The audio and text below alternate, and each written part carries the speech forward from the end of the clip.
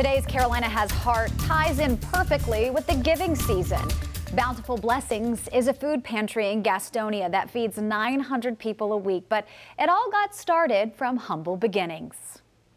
I'll never forget the first day we had the food pantry. We had about 12, 13 cans, and two people showed up. From what started out as a food pantry with 12 cans a week, has grown into one that now gets thousands of pounds of food every week. We get pounds and tons and pounds and tons. Just a general idea, if you would just look, we get this every Wednesday. Bountiful Blessings is housed in Mount Zion Restoration Church. But you don't have to be a member of the church or belong to a certain religion to get help. You don't even have to go to church, don't even have to know Jesus, don't even serve our God, but we just want to show you the love of Jesus Christ, and so that's how we do it. Bountiful Blessings says they hand out food to 300 people a week. Those people then go home and feed their families with the food.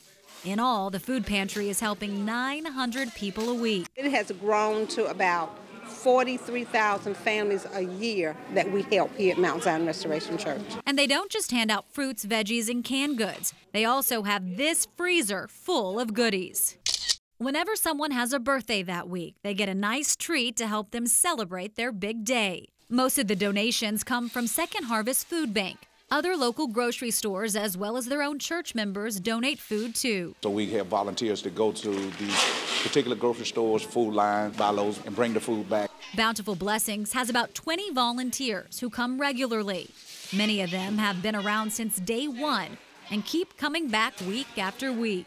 And what brings me back is just to see the joy on the people's faces. While Bountiful Blessings helps hundreds every week, they also need your help. We've got a campaign going that where we're trying to purchase a refrigerated truck uh, that, that we've really feel a need that we really need to do it because what it's to transport the food in the heat, it gets tough sometimes with coolers. That food truck cost about $65,000. So far, the organization has raised about 12000 They are planning a 5K for next year to help raise more money. A Leap Day 5K in 2020. Food truck or not, the organization will continue serving anyone who comes to its doors. We give out food officially on Wednesday mornings, but we're seven days a week.